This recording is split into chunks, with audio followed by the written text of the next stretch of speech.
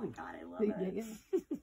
Watch Yeah. out for Jalissa. Yeah, Lux is is licking. And if you use the palm, he probably won't be Yeah. able to nip. You can let him lick your palm. Oh, look at him. How often do they uh, like go to the bathroom?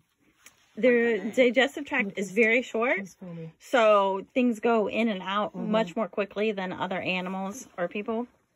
But just like people and other animals, they eat, they sleep, they wake up, they potty.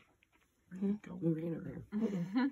So some people will let their hedgehogs play a while, like on the table, and then they will let them um, Go back so they get the cage. potty done and then they'll play so if you have a play area then um the hedgehogs can hang out in the play area first get their business done and then Okay. you can can handle them from there Man, she's just trying to jump right off the table. Oh, she's she's keep in mind they don't jump right. but they'll walk Yeah. because they don't know that they're the edge is dangerous. Sure. so she started a game. But she feels she feels totally comfortable with your hands now. Oh.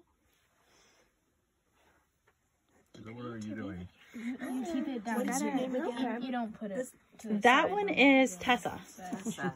This one's Tessa prickly. is adorable. Tessa is Probably so angry. Prickly. Pick it up.